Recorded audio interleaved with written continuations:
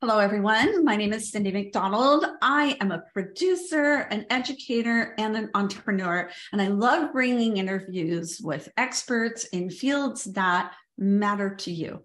And today I'm so glad and honored to have with me Joe Slater. He is the owner and founder of Slater Admissions Advising in Sacramento, California. He works with students in all different areas, but he has a specialization in college I mean, in athletics, um, athletes getting ready to go to college. Is that right, Joe? Did I put that right? Yeah, athletic recruiting is uh, is usually what we call it.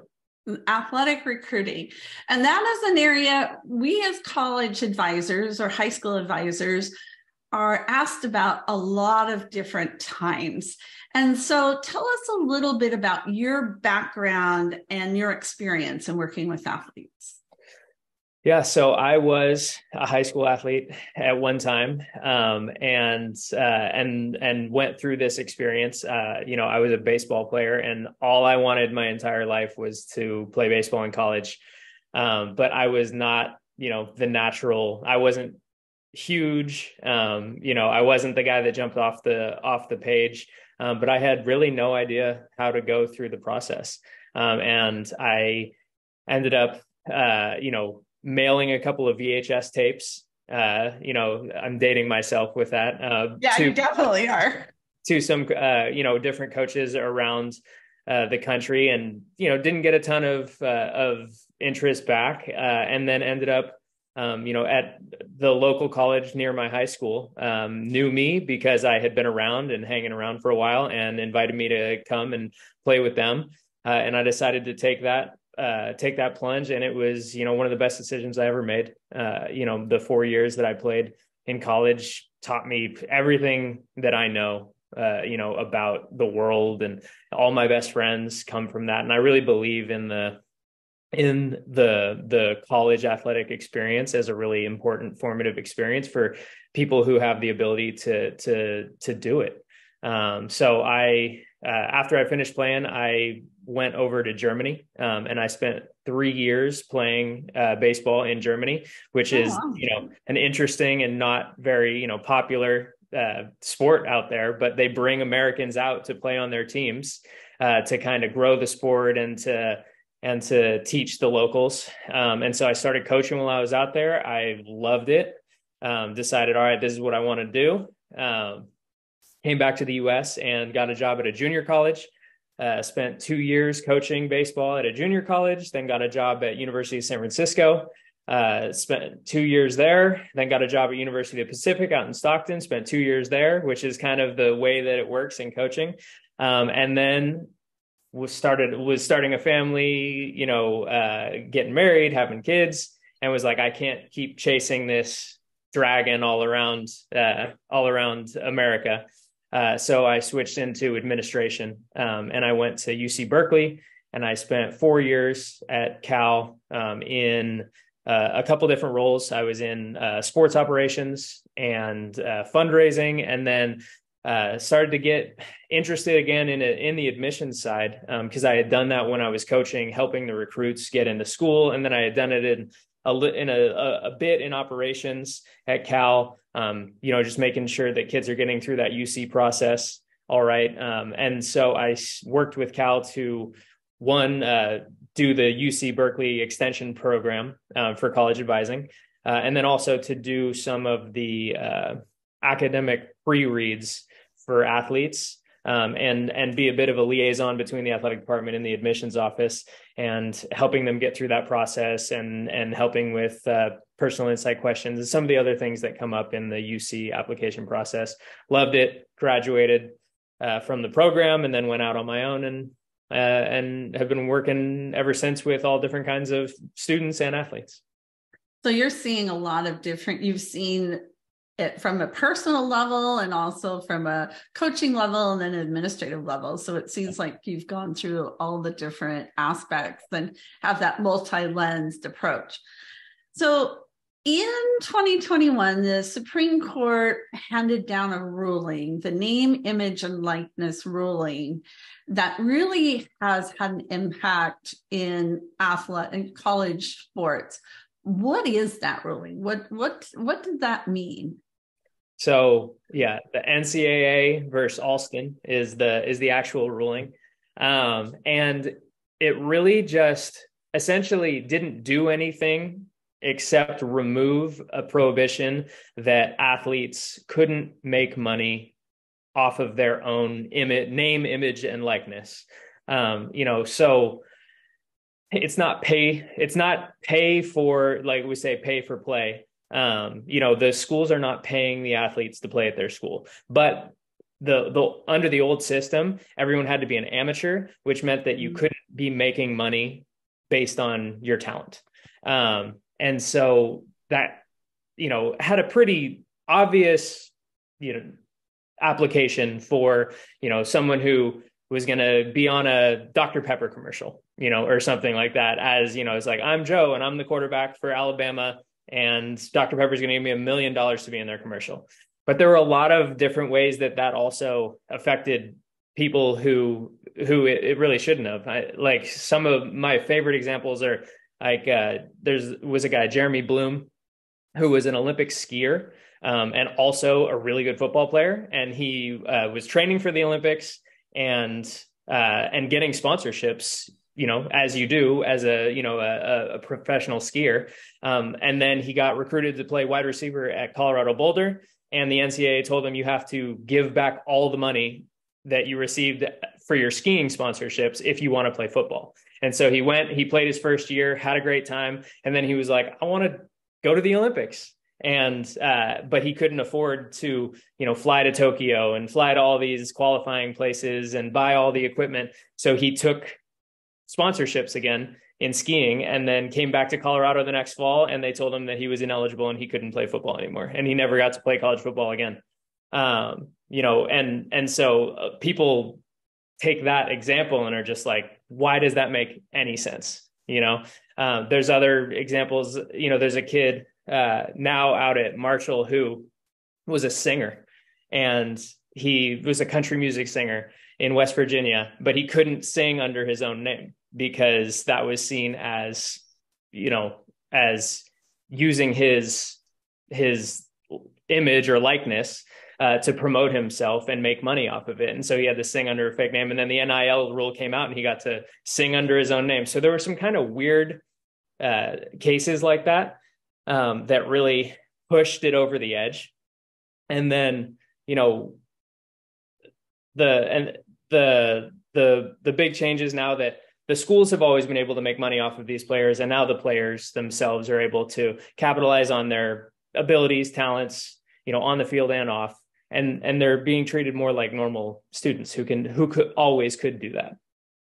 So do you see other are different colleges handling this differently? Are some really embracing it and saying here here's your opportunity athletes you can do this and other ones saying no, you know, put the brakes on. We're we're still not in favor of this. What kind of reception has has the colleges given to this new ruling? So it's a it's mostly about resources, about you know the schools with the most resources to be able to attack this and figure it out uh, are the ones that have benefited from it the most. And it's you know the rich getting richer like the you know the the alabamas and oklahomas and clemsons of the world immediately were like you know the next day huge announcement nil collective program uh, you know all of our richest alumni and local business people are getting together and we've got a pot of 50 million dollars that we're going to pay to you know athletes to promote brands and do this. And you know they were on it right away. Um, you know other programs just don't have that sort of infrastructure that you know it's like i used to work in an in lots of athletic departments. Like there's nobody at at at uh, some of those schools to be like okay you're in charge of figuring out this nil thing this incredibly complex new you know untested situation. Uh, and so they just kind of said we'll see what happens you know? And so some athletes went out and made deals and did stuff um, on their own and there's a mm-hmm. huge difference between the schools that are really you know channeling it and promoting it and helping uh, kids and then schools that are like hey we we won't get in your way mm-hmm. Yeah, yeah, you do it out on your own, but but we won't get in your way. But we're not going to give you any help either. So. don't have, yeah, we just don't have the ability to like you know staff that essentially. Mm-hmm. Does it matter whether the students at a div- division one, two, or three for NCIA? Um, I mean NCAA or NAIA. Does that make a difference? only as far as the way the structure of how NIL works, uh, which is very much like you know the world of advertising. Um, you know, students with visibility benefit the most. You know, the athletes who are playing on in the big sports for the big programs that are on TV all the time are going to naturally attract more uh, more business, more people who want to give them money to promote their brands and uh, you know, and drive their cars and do all these things. And and and so, you know, it's and it, it's not even really between divisions like that. Like, you know, there's differences in teams. Quarterbacks are worth more than linemen, and mm-hmm. uh, you know, point guards are worth more than centers. And you know, it's like it just kind of, uh, you know, it goes from, uh, you know, inside of inside of a team you know, between teams, football players compared to uh, soccer players, or you know, inside Division One, or you know, SEC compared to the Pac-12. Like SEC players get a lot more than Pac-12 players, and those are both you know big Power Five conferences. And then those big Power Five conferences compared to the mid-major conferences, um, and then uh, you know D1, D2, D3. Um, you know, really isn't as big of a distinction as those big time football teams to everybody else. You know, like when I was at University of Pacific, that was a lot closer to Sonoma State where I played. Mm-hmm. Like a division lower level, you know, mid-major division 1 and division 2 are a lot closer than University of Pacific was to Alabama. You know, it's like that. It's just like a whole different world. Mm-hmm. Does it also um the like the season? You know, football is fall right now. You know, we just March Madness is for basketball. Um, does it kind of ebb and flow with that too? Um, not really, not really. I think it's mostly it's mostly about you know exposure, about mm-hmm. TV exposure, fame, social media followings. You know, there's some really interesting uh, cases where you know, uh, like a you know, gymna- gymnasts, women's gymnasts are making tons of money on NIL um, because they have these huge social media followings. They have the you know legions of little girls across the country who are do gymnastics and want to be the next you know simone biles and the you know it's like they have millions and millions and millions of followers while they're doing gymnastics at in college um, and they're able to make tons of money you know and that's a that's not a sport that you would necessarily put up there with you know uh, football but you know they're some of the highest earning you know, when you see like the top, top five list, like two out of the five are women's gymnastics. Wow. Where do you find this list, Joe? Online. You know, there's there's companies, you know, a market has been created. So as soon as NIL passed, um, you know, then immediately there were five um, platforms uh, for athletes to go on and say, like, I want to get an NIL deal. How can I do that? And so uh, these platforms, I think one of them is called Opendorse. Uh, there's a couple other ones. You go on and you put your information in, and then there are companies that that that they're working with who were, are there in order to like find some people to do deals with, and then it helps them match, and they can do you know deals through there, so it's not like you know cash on the side of the street type thing.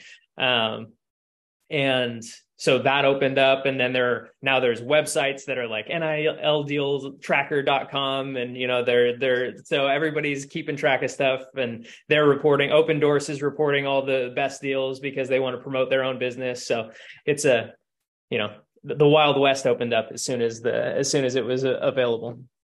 I bet i bet. Is there any connection or considerations with title ix and this aspect? Are they totally exclusive or does one does Title IX fit into this at all? There's a little bit of a crossover. Um, so explain big, what Title IX is, first of all. Title IX was passed in the 70s to create gender equity, you know, across all higher education, and athletics falls into that uh, because you have to provide the same opportunities for male and female uh, student athletes in your at, at any given school. Uh, and so that can look like it, you have to have the same composition as the student body, or you have to provide. There are a couple of different uh, ways that you can be Title IX uh, compliant, um, but it's very much directed at the athletic departments and the schools. Uh, and NIL is very much directed at the athletes individually and the businesses that they're uh, connected to. So they don't have to follow any NI or Title IX guidelines.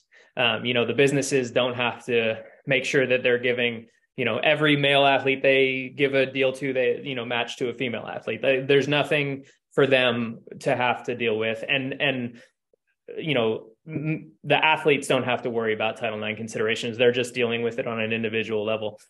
The athletic departments have to uh, keep to you know any any resources they provide around around nil um, they have to make sure that that is equitable. So if they go in and do like a, you know, hey, here's a, you know, a, a, a one hour session on on the new NIL situation, and you know, here's some education about this and that. They can't just go to the football team and do that presentation. Like they have to make sure that they're doing that equitably across the whole department to everybody. Um, and anything else, any other way that they are going to, you know, educate the students, um, provide resources uh, they have to make sure that that's provided to all their athletes. That makes sense. That make that makes sense. So, um, I know that's a big issue. That whole compliance issue at the college level is is something that's always an ongoing process and concern and um, consideration. So you mentioned gymnasts, which was very surprising that that is a group of athletes that have really benefited. Are there any other groups of athletes that you've observed that have also benefited from this? So it's interesting. It's like it it, it hasn't quite rolled out as many expected. Um, you know, there was a lot of consternation when it first happened, where it was just like, this is only going to be football players. You know, this is going to be football players. Men's basketball players might get a couple here and there, um, but that's like essentially it and all the money is going to go to these and it's going to be unfair and women have done really well um, which is you know which which people didn't expect and there there are the standouts like the gymnasts who just have this natural this natural fan base you know mm-hmm. like when you're a success mm-hmm. because there's not a ton of gymnastics programs every four years you see you know these the, the everybody comes and watches the gymnastics is one of the most popular sports in the olympics. Um, and you see these people come out of the college ranks and into the trials and then you watch the trial. My my wife was a gymnast and so we watch the trials every year and then we see who's going to make the team and then they go to the olympics and and so gymnastics has this natural fan base built in. It's an expensive sport. There's tons of gear that they have to get and there's gyms that they have to go to and so companies are like would love to get on the social media feeds of these gymnasts you know and and be like you know i wear right. you know this this wrist wrap yep uh, yep you know, and so it's a it, it leads itself perfectly to that and you know a lot of female young female athletes are just better at social media mm-hmm. and than yep. their male counterparts uh, and are better at self promotion and and are just like as many counselors know a little bit ahead of the game uh, when it comes to it comes to the boys that they're competing with in the college process.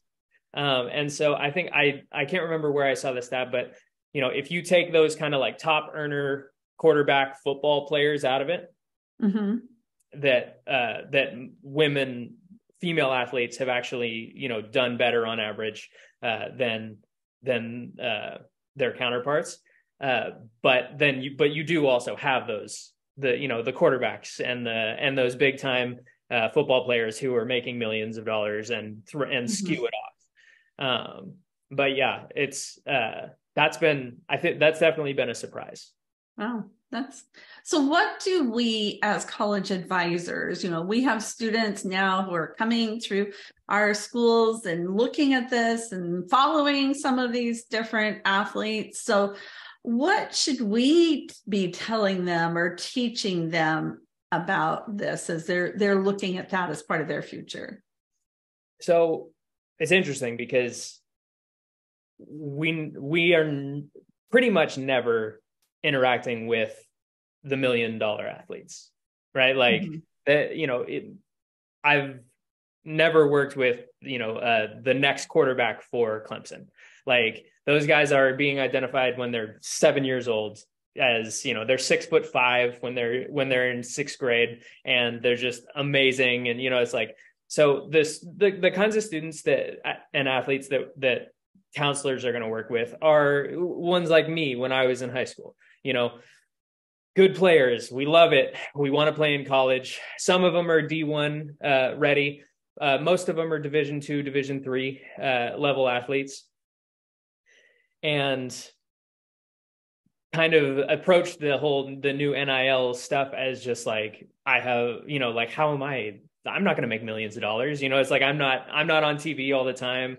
Um, you know, and it's really changing the mindset uh, of those types of students to say like you don't have this isn't going to benefit you only if you can make a million dollars you know like you could make a hundred dollars you know and a thousand dollars. And i remember you know i just think of myself as a college baseball player and all of my teammates like we were incredibly broke all the time because you can't work you know? Like you have to be playing your sport 20 20 30 hours a week plus going to a full load of classes. You know you can't just have a job uh, you know a 30 hour a week job. It just doesn't work.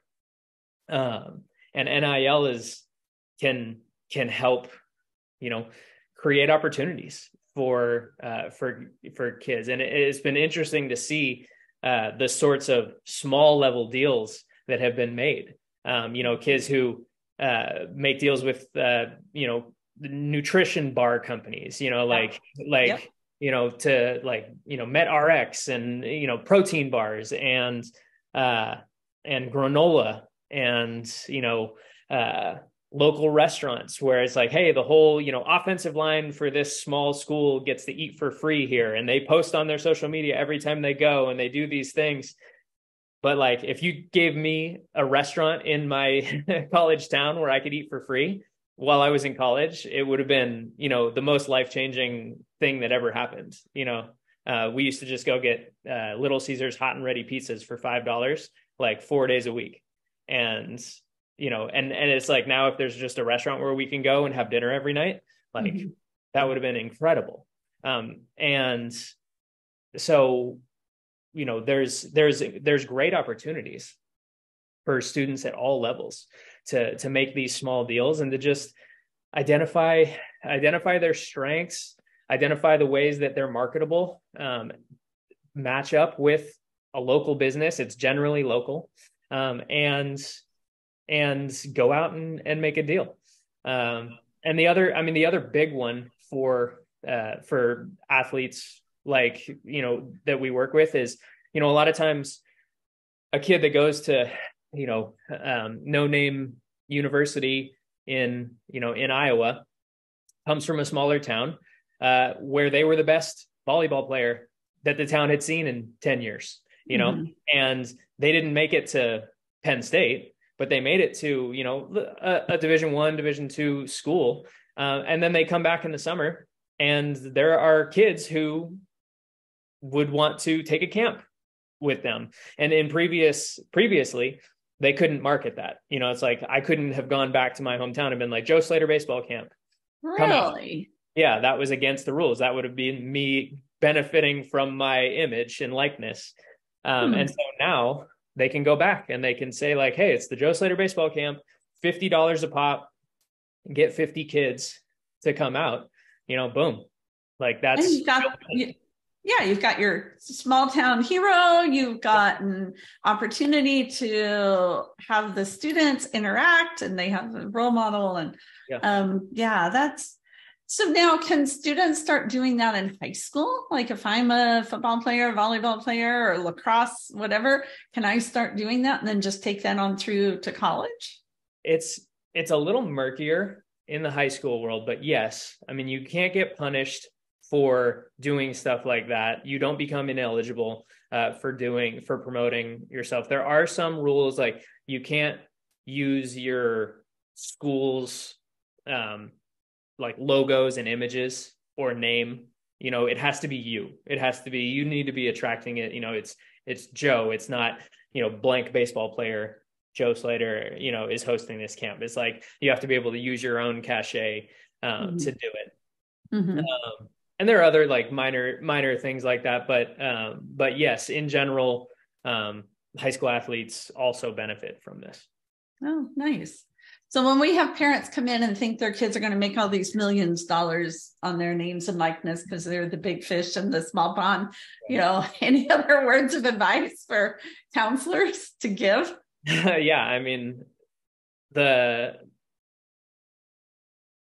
this is not a in general this is not going to make millions of dollars you know and in the same way that the first conversation with student athlete families that i always have is like they come in and they're like we would like a scholarship to play sport in college. You know it's like a full scholarship please.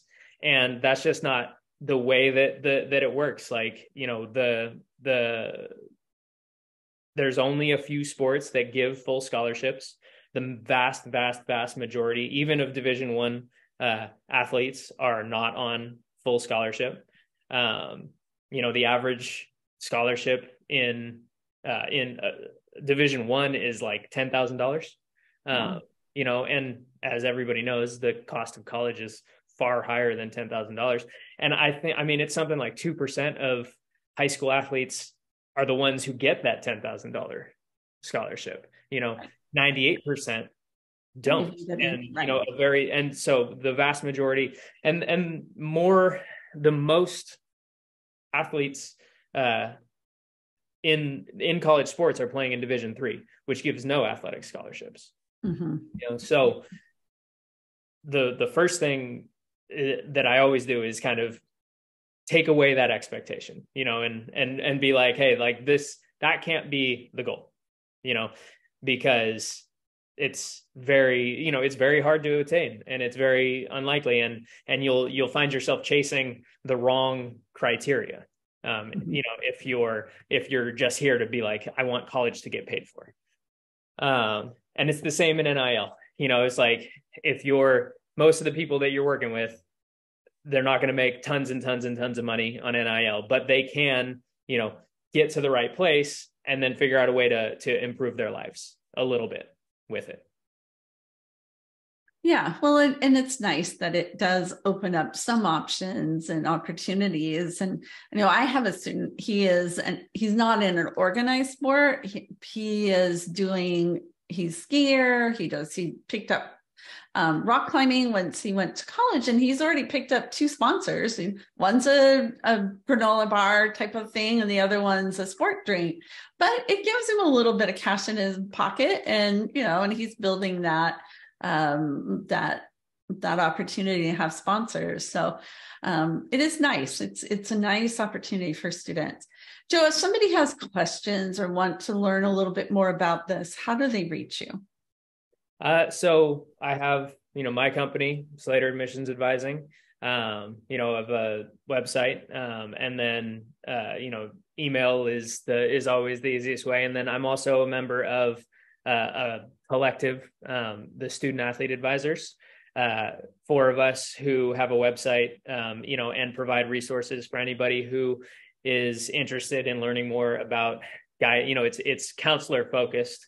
Um, so we're talking to counselors and and and you know doing uh, blog posts and uh, and classes and things like that for people who want to learn more about the athletic recruiting world, the process, uh, putting together like a course uh, for for people who want to get more uh, more involved with student athletes, um, and then you know just kind of promoting really the three ways as you get out there and get into the world like you said at the beginning people ask about athletics all the time and um, you know kind of trying to promote the idea that uh, there's really three different ways to handle it, um, which is, uh, you know, partnering with someone like me, like the student athlete advisors, um, to co-counsel. So if you're not super, uh, you know, versed in uh, in athletics and you don't really want to be, um, you know, bringing somebody in, but you also don't want to lose the business of the kid who comes in and says, "I want to play uh, play baseball in college." Um, you know, you can reach out to us and we can, you know, work together to uh, where it's like, hey, you handle the academic side, we'll handle the athletic side, and then we'll kind of, you know, collaborate uh, and co-counsel the student together. Um, and then there's mentoring, uh, which is I do I am interested in athletics. I do want to learn more about it. I would love to help kid you know help kids through the recruiting process. Um, you know, find some find somebody who will help you through that. I I know when I started this, like I have as much credibility in the industry as as anybody having been a Division One coach and worked in an administration for a long time. And I walked into this and somebody was like, I'm a golfer. and I was like, I have no idea what golf recruiting is. You know, it's like I've done baseball, I've got all these contacts, I've, you know, I understand this completely, but golf's a completely different sport. And I was like, whoa, I don't know anything about this. And so I found a, a somebody who works with golfers specifically and you know went and took her out to to lunch and asked a million questions and then and I still you know uh, hit her all the time when I work with a golfer to just say like, uh, you know, hey, should they go to play in this tournament or should they do this or how does that work? Um, and so finding someone, a mentor, um, you know, like me, like the student athlete advisors, to to help, you know, uh, take you through some of those uh, those sticking points and give you ideas. Um, and then referral is the, you know, once you get to a point where you're full, you know, uh, and you get to be a little bit more discerning about who you take on, uh, you know, just saying like, hey, you, if you want to work with an, uh, somebody who knows more about athletics than me, you know, here's here's these people. So that's great. Lots of choices. Do you does student athletic advisors partner with schools, high schools as well? Um, I know the courses and things are for anybody school public private independent um, do you also partner with um, schools to to provide yeah we that? do uh, we do educational workshops for uh, for schools and for club programs and you know school counselors mm-hmm. um, you know because it's just something that you know most schools don't know you know most school based counselors don't have any real interaction with the athletic world um, and they're so busy, you know, with uh, with with their caseload that that's not, you know, they're not out there taking classes or you know doing mentorships. Um, and so, yeah, we come in a lot of times and you give talks and just, you know, it's like, hey, to a team, to a department, to booster clubs, to parent groups, mm-hmm. things like mm-hmm. that, and just say like, hey, here's what to expect. Um, you know, if you're a freshman, sophomore, junior, senior, it's a one hour, you know, like, like here's the basics. Uh, you know, let us know if you have questions. Great. Great. One thing I meant to ask, and then we're going to wrap up, is does all of this apply to international students as well as domestic students? Yeah, yeah, like the name, image, and likeness mm-hmm. piece. Um, yes, it was.